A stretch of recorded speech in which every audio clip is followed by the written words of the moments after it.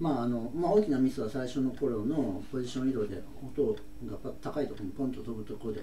そこで結構大きな間違いをしたなっていうのがあって、まあ、ちょっと今日は気を抜いちゃったっていうのがあったかな。あとは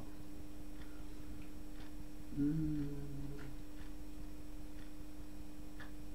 どうかな、まあ、毎回気をつけてるせいかそのそれ以外で、まあ、気を抜かなければけ